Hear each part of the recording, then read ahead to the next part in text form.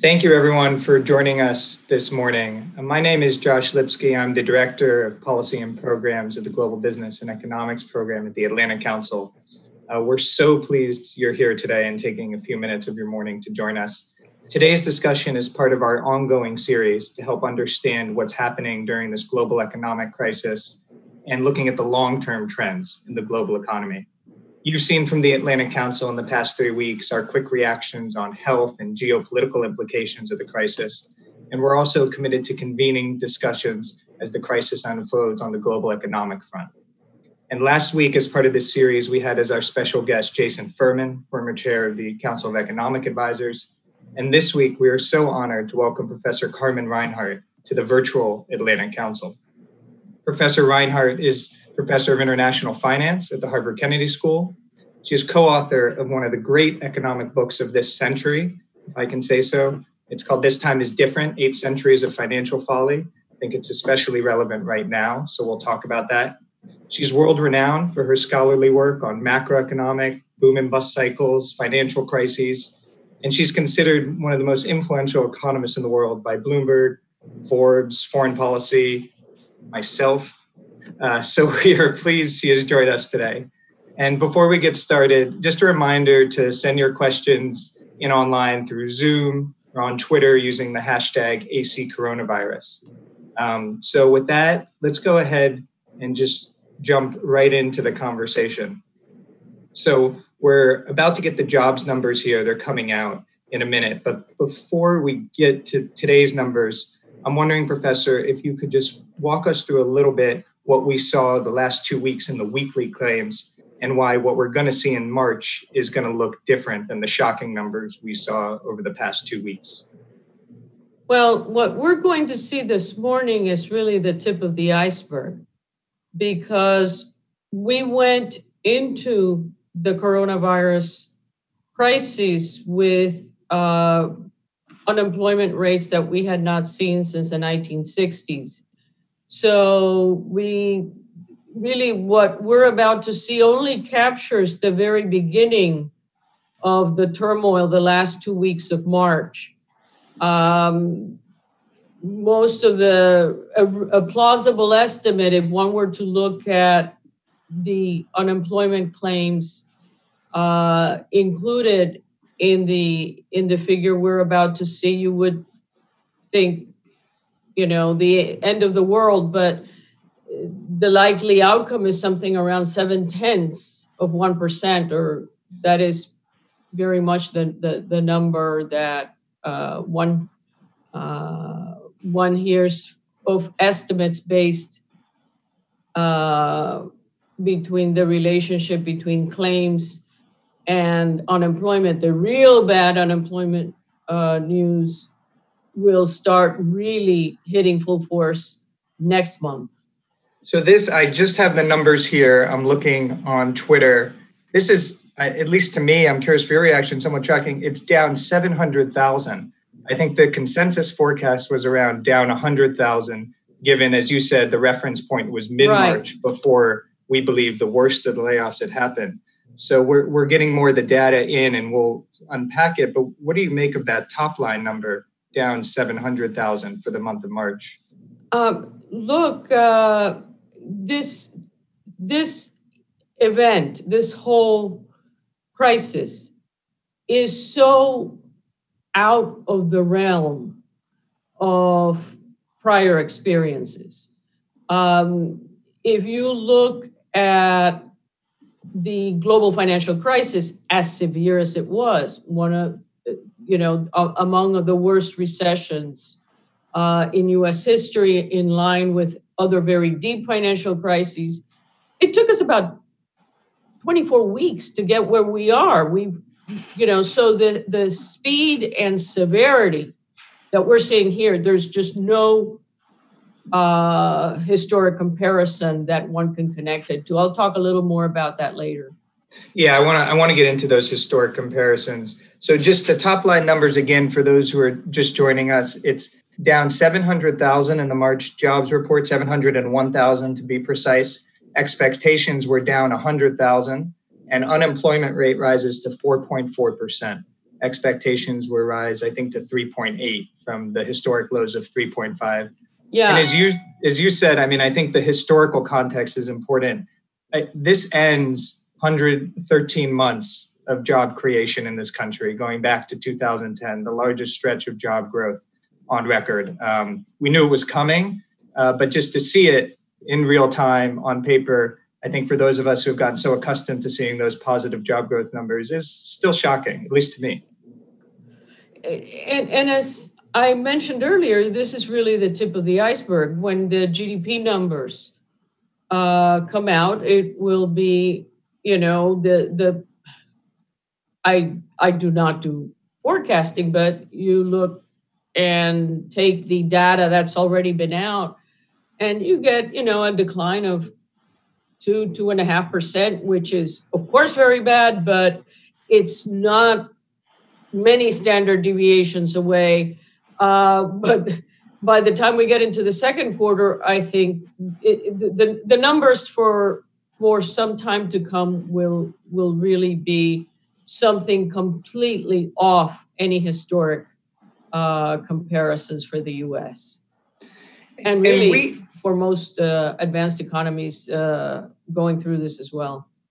And it's interesting because you know what we were hearing last night, this morning from you know most of the forecasters was well, this ended mid March. Employers and the sort of the the national shelter in place orders, or at least the state orders, hadn't really taken effect.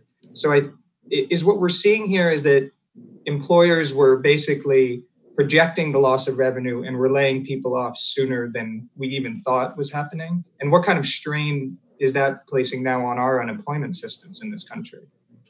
Well, uh, I really can't answer the question of whether you know there was some preemptive or very rapid. Everything is is happening extremely rapidly, and the fact is that um, about 40 around 46% of employment in the US is in medium to small businesses. And this is where, well, everywhere is getting hit because the airlines are certainly not small businesses and they are where they are. Uh, but the enormous spike that we've seen, which again, it, what we saw in 2008, as deep as it was, it was much more gradual, you know, over the course of more than 20 weeks.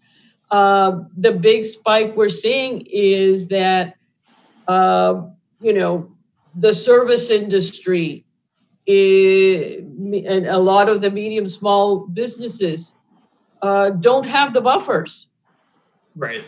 And so the response is is very immediate so let's let's talk a little history. You've written about this recently, and everyone is sort of trying to grasp for historical comparisons. It's helpful in a crisis, and you're a great chronicler of past crises. What, what to you is the most relevant historical comparison of what we're about to live through, or is there one? So, first of all, let me say that I cannot speak to the comparison of the medical dimension of the phenomenon we're going through of the pandemic. But if you were to look at the 1918, uh, uh, the Spanish flu, uh, the Spanish flu, again, not referring to any kind of medical context comparison, but the Spanish flu uh, occurred during World War One so if you were to try to figure out what the economic impact of that pandemic, as severe as it was, it wouldn't be of any use to, to us now. Uh, for the following reason uh, 1918, World War One, the big production push that has accompanied the major wars, GDP grew 9% real GDP grew 9% in 1918 as US deaths uh, topped at around 675,000. This is like the highest mortality rate since the data is out from 1900 to the present. Um, business failures in 1918 actually diminished. In, and so using it to as a guide for what's going to happen or what is already happening is that's not where to look. My closest comparison, and this is without being excessively gloom and doom, uh, where you see core similarities in the global setting is to the 1930s. And you see this the night in the 1930s you had a major breakdown in global trade. In the 1930s you had a very deep crash in commodity prices. Uh, in the 1930s, you saw volatility spikes in the financial markets, very much akin to the roller coaster that we have been living in from day to day. Uh, this is not sort of a casual, I mean, if you look at uh, volatility indices that are frequently used in financial markets like the VIX, um, I have constructed such proxies for that era, and that's the only period where it's really comparable. But importantly, this is importantly, I think the biggest comparison to the 30s is that if you go back to our global financial crises in 2008, 2009, it's called global, but it was really financial crises, banking crisis in 11 advanced economies, mostly Europe and US. It was not a crisis that really spread out to the emerging markets. It did not hit China. Of course, every country had its a, a, very bad fourth quarter of 2008 and a really bad beginning to 2009, but very swift recovery, very substantial growth right after, while the slump in Europe in particular continued. So it was really an advanced 2008, 2009 advanced economies.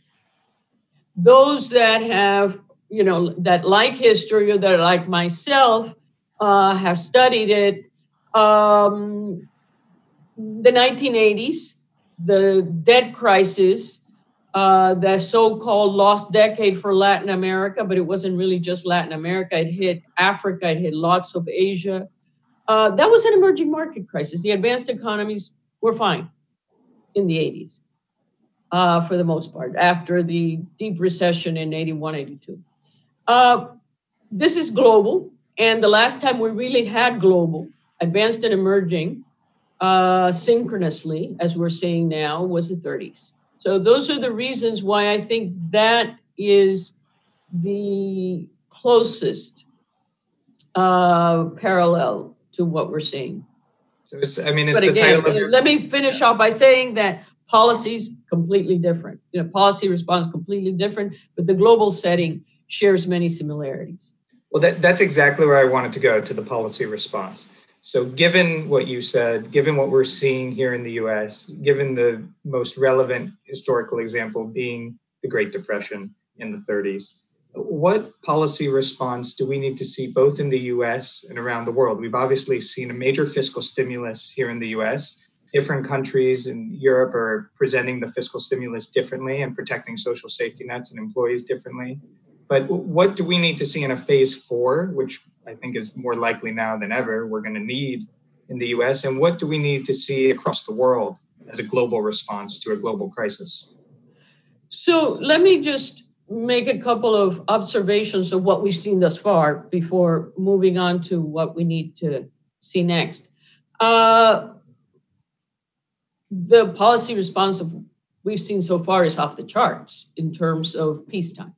Uh, this kind of uh, fiscal stimulus uh, and simultaneously monetary stimulus very important here, extremely important here for reasons I'd like to highlight, uh, is, is also off the charts relative to any other peacetime experience. Importantly, I think importantly of what's been done so far is that it the, the, the response is front loaded.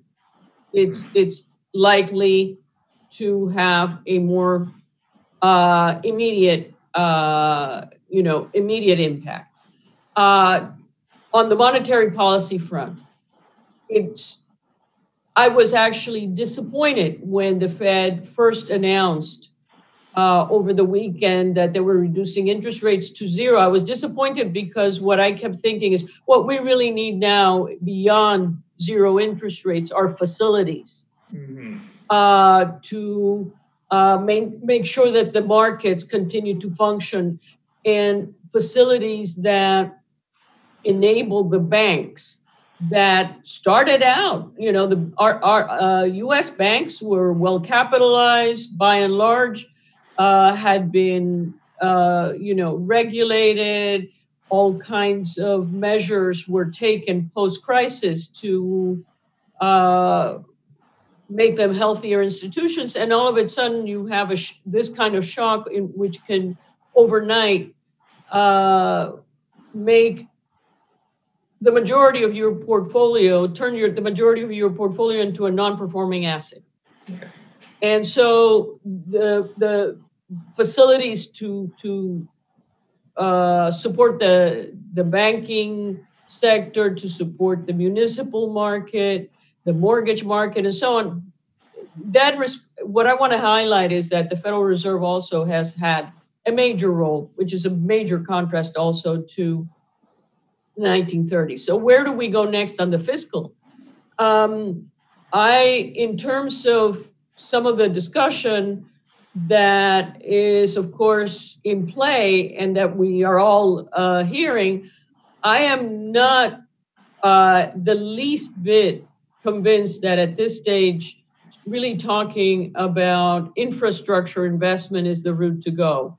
Uh, we need something fast, something that is again the emphasis on front loaded because uh, people are are you know the the, the as we have dis- started this discussion talking about the job the the marked and swift deterioration in in employment conditions. So those households uh, and those businesses that are quickly failing need the support. And so, so uh, among the things that are being discussed are um, proposals that would involve voluntary uh, participation by individuals, but uh, things like uh, tapping into your Social Security and getting, say, $15,000 upfront if you agreed to work nine additional months after the official retirement age. So if you were expected to retire at 65, you retired 65.9 months hmm. uh, in exchange for getting that liquidity, that injection of cash uh, at the moment. So uh, cash advance from Social Security. Exactly, yeah. exactly.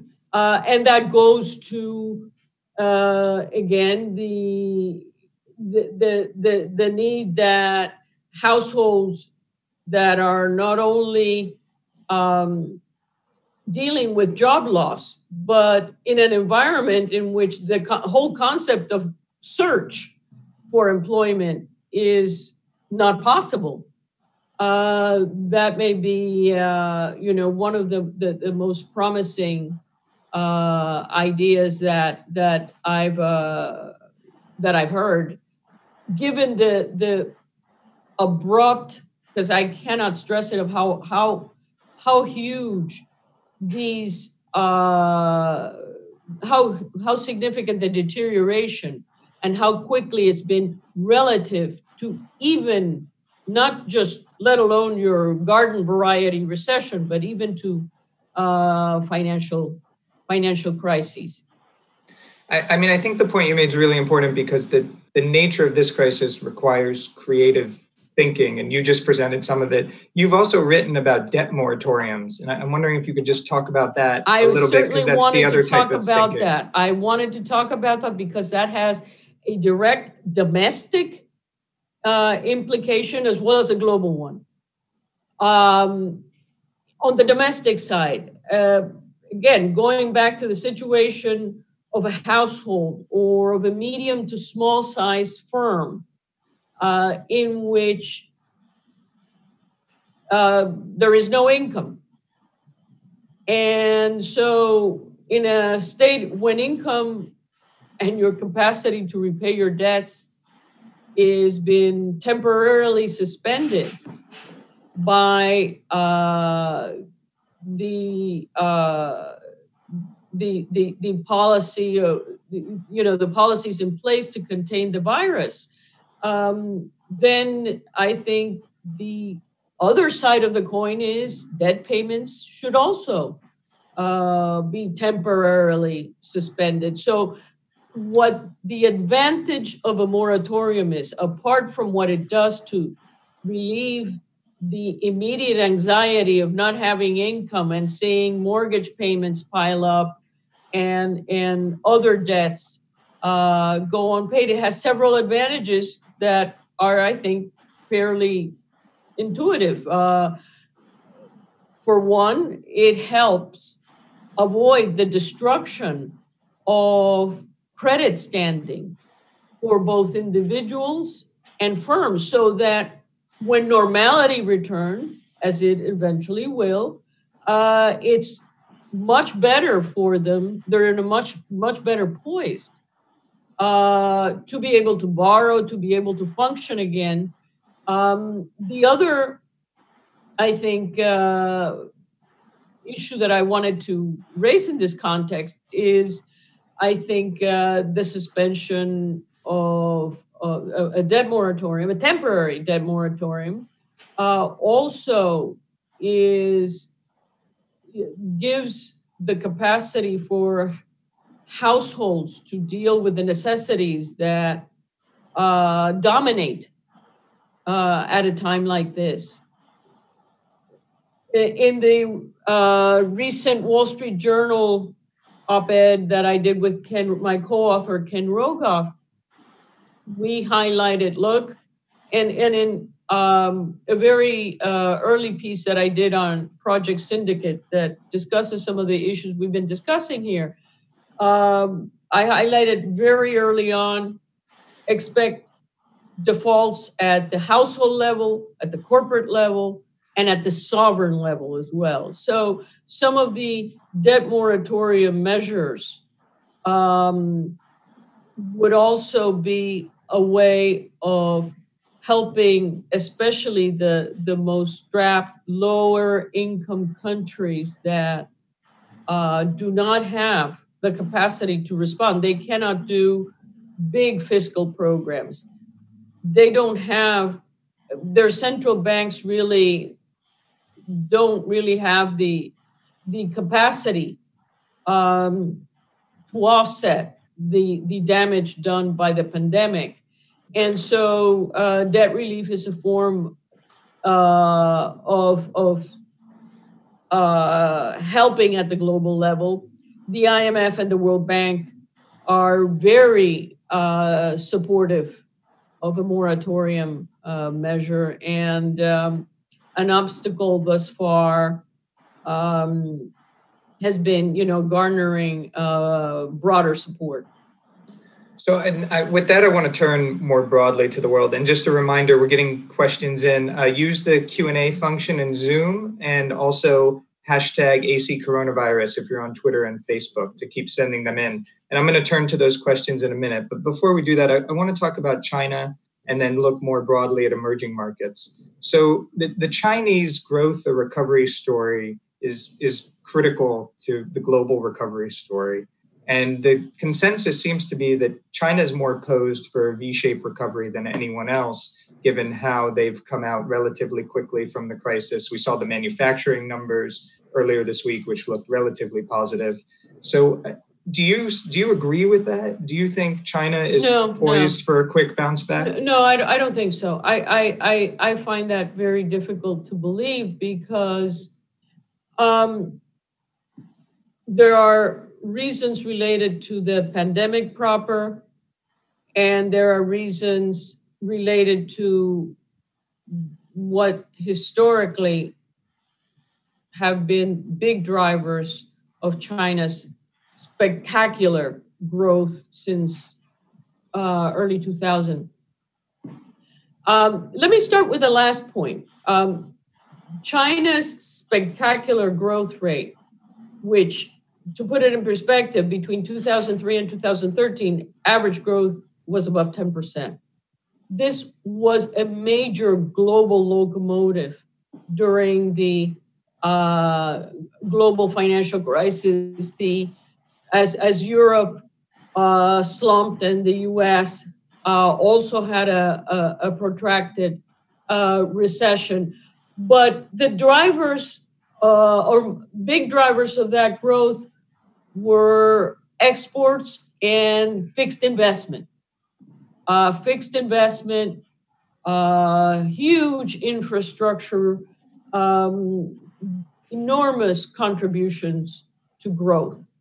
And right now, uh, an export oriented economy uh, in an environment in which the rest of the world is still grappling with a pandemic, in which global supply chains are still being impacted and redesigned and rethought uh, as aggregate demand in the rest of the world remains weak, it's hard to see how that would be conducive to a V-shaped recovery. Uh, the third, the second reason why I don't think, and again, yes, we're going to see some snapback, obviously, but I think the the the whole notion that it's returning to a pre-crisis scenario, I I don't think so. Um, I think what we will have, and to some degree we had even prior to the pandemic, uh, was overinvestment. Mm. Um, and associated with that overinvestment was the very steady upward march in debt and leverage in uh, not only the national government, but especially the provinces and the private sector. So a more levered, you know, a more indebted uh, private sector, a more indebted uh, government sector, certainly at the at the um, provincial level, is also going to be a a uh, a factor holding back growth in a way that the situation was very very different at the onset of the global financial crisis uh, more than a, more than a decade ago. So I am not uh, convinced of the, the the robust comeback. One final thing, and this is a real downer, but it is what it is. Um, and that has to do not with the economy, but with the disease itself. Uh, we live in a different world. You know, our our uh, medical capacities are not to be compared uh, to the 1918 pandemic. But I would note that the 1918 pandemic took hold in the US in March of 1918.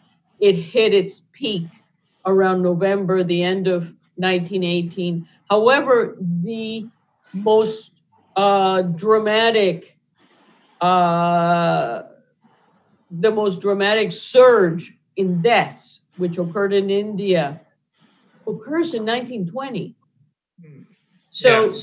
you know, it's it, it's not a completely synchronous process here. You know, our downturns may be synchronous right now, but the disease, the, the path of the disease itself um, hits different parts of the globe at different times, and and that is a delaying factor to to normalization, if you will. That's that's really interesting, and I think it's important. One, the the long term nature of this, but also the China story, um, not just for China itself, but of course what China means to the rest of the world. China is the biggest lender to many low income countries. Of course, huge uh, factor in the rest of the emerging world of what China does. So, what is going to be the impact here in emerging markets in low income countries? We're dealing with the twin shock, the oil price shock. Uh, what do you foresee happening in some of these I, emerging uh, markets, which were already under stress? I, I have to say, I am I had been worried about emerging markets before all of this uh, for a variety of reasons. Uh, emerging markets, um, which did very well up until around 2013, had been very, very impacted one way or another by the China slowdown. Uh, many emerging markets are primary commodity producers. And China's double digit growth rate was a major boost to global commodity prices. And, you know, as the price of their exports sank in global markets, um, many emerging markets already started, growth really started to suffer well before this pandemic. And uh, at the same time, uh, external indebtedness mm-hmm. Uh, in dollars uh, began to mount very seriously. And so, and, and, and part of this story is also China's lending to emerging markets because Chinese lending, about two thirds of it is in US dollars. So, what happens to a country who has whose currency collapses 40% and their income is in pesos and their debts are in dollars. Hmm. It's it's a very abrupt shock that really uh, can very very quickly translate into a solvency problem. And so is this uh, another sovereign debt crisis? I mean, is is that what you're seeing? Yes, that's exactly what I'm saying. And and uh, it's I'm very glad you brought up the issue that we are not as if the coronavirus pandemic wasn't already enough uh, that we have the Saudi Russian oil war right. in the midst of this. So you have countries uh, like Ecuador, for example, oil producer, which at the moment, uh, the oil price that was budgeted into their fiscal accounts was roughly around 48 50 dollars wow. which is of course more than double what they actually get because their oil sells even below the uh, uh, the Brent crude, and um, in an environment in which you're you have a government that's trying to contain the pandemic, dealing with a major loss of revenue over and beyond the re- loss of revenue associated with the economic slowdown. Um, and facing uh, downgrades, serious downgrades uh, by the credit rating agencies, and uh, soaring cost of borrowing. Right. The next step being default is, is, is highly probable, and and you Angola would be in that list, but more generally, what you've been seeing is the longer this goes on, the more countries that are going to be downgraded and closer to that junk bond category, which is right now a very dangerous, whether, and this is true whether you're a sovereign or a corporate. One of the things we have seen in this uh, in this roller coaster weeks we've had is credit spreads widen that high yield debt or high yield, I'm sorry, uh, high quality debt, uh. AAA, uh, high grade corporates uh, have done very well. Highly rated sovereigns have done well. Of course, uh, this is what you would expect when there's a flight to quality, when there's a retrenchment from risk taking. Uh, and that really leaves both the emerging markets in the global picture and also US corporates, especially in the energy area, but not uniquely in the energy area. Any high yield, uh, you know, uh, higher risk corporate with high yield debt in a much shakier position, much that all that much closer to default. So when we think about EM default, emerging market default, and a crisis in emerging markets, we, we have to talk about the IMF and their role in this as a lender of last resort. So what from your perspective, one is the IMF doing what it needs to be doing up to date? And the second related question is do they have the resources to do what they're going to be they're going to be called on to do given the widespread shock you're talking about? So, look, um, the IMF has been out there um, making sure that it was understood that countries in need could tap them for emergency funding. In effect, uh, about 85 countries have already come to the IMF to use that emergency funding. Right. Um, is it enough? I don't think so. Hence, the goes back to the issue of why the debt moratorium is not a substitution for, but a complement to uh, alleviating the situation. And let me also uh, take a different turn here. Um, the IMF's mega packages have not been actually to emerging markets. The, the mega packages were Greece, Ireland, and Portugal, mm.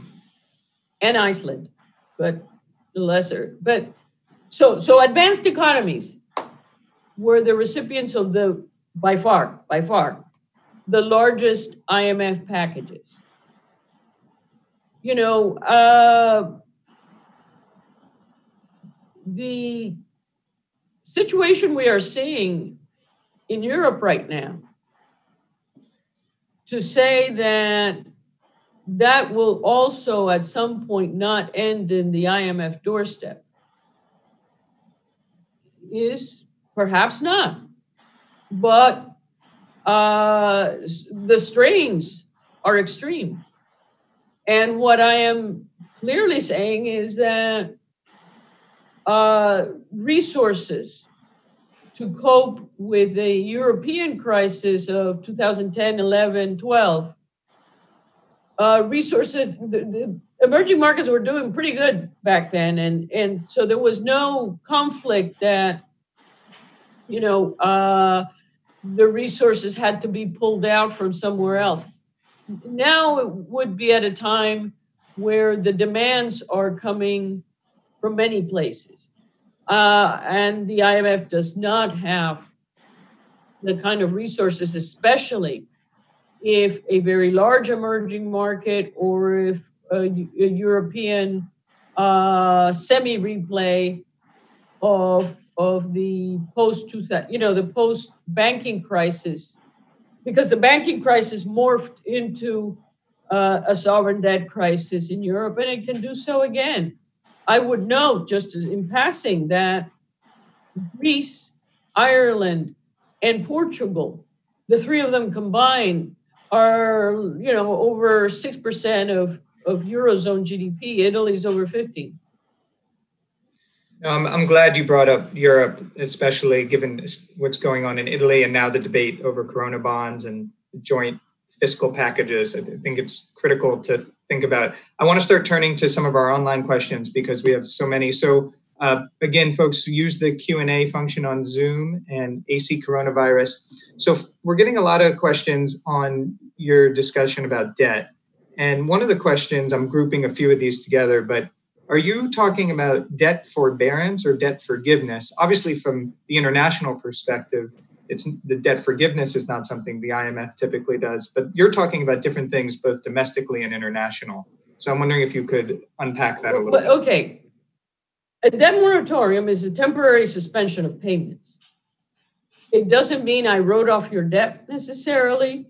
It probably means that you've restructured, you know, the repayment schedule. But it doesn't necessarily imply debt forgiveness. Yeah, right.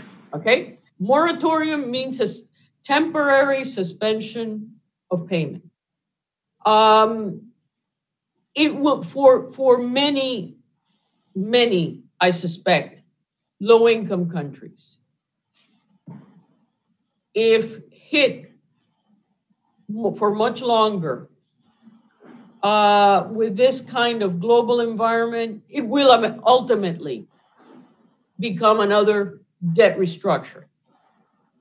And debt restructuring uh, means that it can be either you simply change the terms, you give them more time, lengthen maturities, trim interest rates, or a haircut in face value. Uh, for the lowest income countries, usually it's involved all of those. Uh, and for many uh, emerging markets as well, and for Greece as well. Uh, Greece had one of the biggest haircuts, uh, as so so called, you know, write-offs. Uh, but that's not what I'm talking about at the moment. That's something that whether uh, a, a full-fledged uh, debt restructuring that results in a deep haircut, in a, in a deep write off, is necessary. Um, that's to be determined also by the severity of what happens between now and the end of this. But for the moment, it, it, moratorium is, you know, to be clear, suspension of payments, temporary suspension of payments. Thank you. Thanks for clarifying. So I, the question we're seeing also a lot on Twitter here is: Should we be worried about massive buildup in debt in advanced economies? Obviously, borrowing rates are really low. We're in a crisis situation. Money needs to be spent. Are, are you concerned? Should policymakers be concerned about increasing debt to GDP ratios that were already on the rise? Uh, this is not the moment for that. Uh, I I've been worried for more than a decade. Uh, but you worry about that in good times, right? Yeah. Uh, I mean, presumably the, the whole concept of, of, you know, prudent management is that in the good times you save for a rainy day. It's raining. So this is not the time where one would, uh, this is the time where one would limit the necessary action by concerns about the debt. This is, I think so many have already alluded to the fact that we are indeed in a war. I don't know of a wartime experience where, in the midst of a war, a government says, No, I am not going to raise debt because it leaves my debt uncomfortably high. You do what you need to do. Understood. So now there's a question about the Fed that we got in. So you, I think, very appropriately, you know, praised the Fed for their quick actions. Uh, you know, Jay Powell and the Fed have been out in front, more quantitative easing than throughout the whole of the global financial crisis, or close to it, depending on how you measure it. But within a span of three weeks, as opposed to six years. So, what else would you like to see? Do you think the Fed should do from now? or do they need to now step back? What more would we like to see from the Fed? What more can the Fed do? Um, I think that uh, if I'm not mistaken, the Federal Reserve Act uh, limits the uh, or imposes uh, limits on the kinds of, for example, municipal securities mm-hmm. uh, that it can buy. They're limited to very short term, while municipalities issue tend to issue longer term debt, which the Fed cannot directly buy. Uh, this is something that is not just the Fed. This would require these things would require. Uh, the other one is, of course, buying corporate debt, which uh, former chairs uh, Ben Bernanke and Janet Yellen have both been talking about. So, expanding the range of assets. This is something that uh, the Bank of Japan, you know, the, the array of things the array of types of debt that the Bank of Japan or that the uh, European Central Bank can buy is broader uh, than what the Fed uh, is allowed to do under the Federal Reserve Act. So, again, this is not just obviously a decision of the Fed. The, the, you know, the Fed is a child of Congress. So, uh, but I think the focus on maintaining, and I think that is obviously the intent on maintaining a very uh, active uh, provision of liquidity, including in a Main Street facility. Um, they've done a great deal in a very short period of time. So, related to that, we have a question about the role of the dollar. And I think as we near the end of this conversation, it'd be helpful as we think more broadly, long term impacts. So, that you know, there's a there's been a rush to dollars all over the world, liquidity increasing. What is the long term strategic impact of that on the role of the dollar in the world? Well, it's interesting. I uh, Ethan Ilzetzki, a professor at the London School of Economics, Ken Rogoff, and I have uh, two very two recent papers uh, uh, last year and this year on that very question. Really looking at the entire post-war, very detailed data on the different dimensions of, you know, how do reserve currencies, how do anchor currencies compare? And the bottom line is that what we all know, um, this is no novelty to anyone listening, that the dollar is the dominant currency. But very interesting to us was is not that was not a surprise that the dollar is the dominant currency. What was more surprising is that it has gained a lot of ground in the last decade. So it was already important in at the beginning of the global financial crisis. It's even more important today. And there's a couple of reasons for that. And we've talked about some of them already, actually, which is uh, post global financial crisis. Uh, you know, there are increased doubts about the capacity of the euro to hold. Right. So the euro has receded. Uh, part of that gain in the dollar has come at the expense of the euro. And even if one doesn't doubt for a moment that the eurozone will hold, there is still the issue that in bad times, investors, individuals, everyone wants liquidity. And there is no comparison to the US Treasury market. If you go to Europe, you have the Bunds, you have Greek debt, you have Dutch debt, you have Finnish debt. It's not a unified market. Maybe this crisis will lead them to that. Maybe the coronavirus bonds, maybe we will have finally, uh, it is a single currency, but there is no single debt market.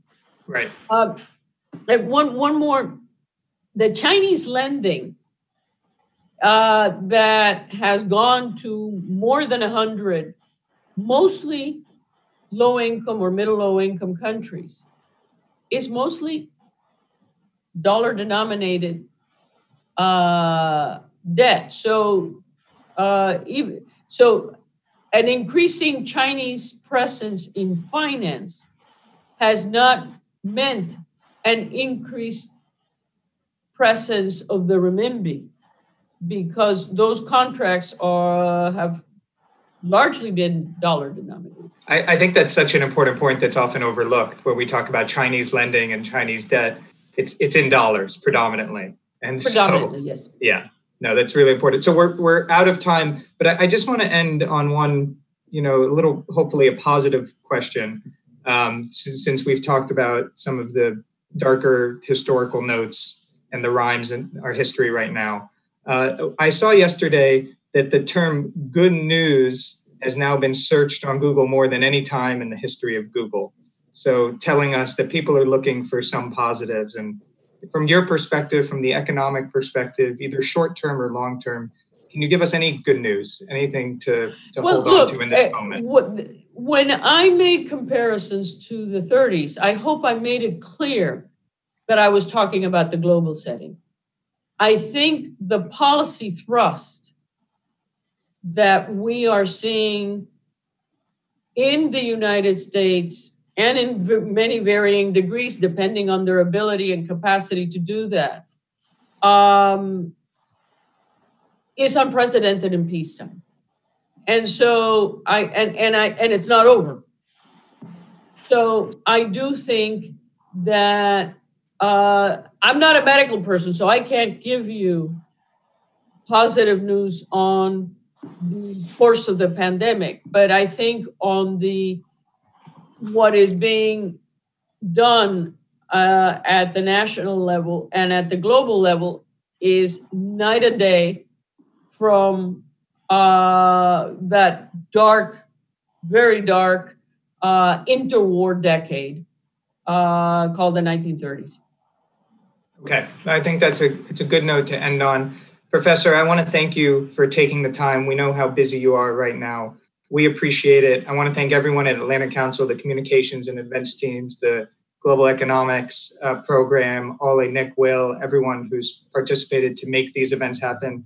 Uh, please, everyone, thank you for joining us. Please stay tuned. Uh, we're going to have more here. We're going to continue to talk about this crisis. And uh, please stay safe and stay healthy.